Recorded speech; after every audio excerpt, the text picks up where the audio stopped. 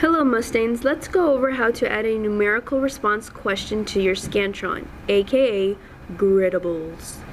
Right now I have three questions coded with the answer and standards from the previous video. I want to click add question and the type of question I want to create is a numerical response and another screen will pop up. This is where you will enter the answer to your numerical response question. So let's say it's 42.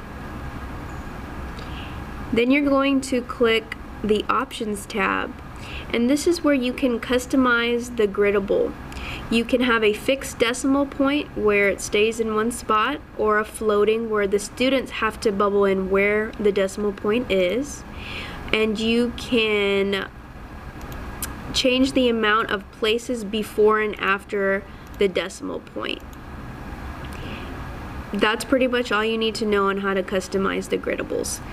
Also, if you need to code this question, you'll select the standard, and sometimes they don't have a reporting category, it just depends on what is populated.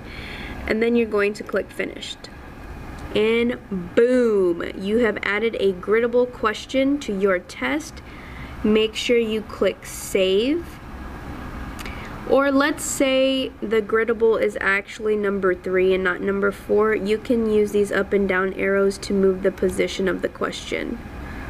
And so now it's question three, click save.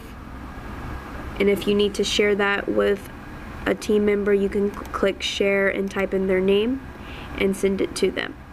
So let's just take a quick look at the Scantron just to see what it looks like. So you're going to click Analyze, Test Available, and you're going to see Sample Test, 4 question count, blue arrow. Let's just select one class period and print the answer key. And there you go. Four places before the, the fixed decimal point, three places after, question number three. Email us if you have questions. Thanks, bye.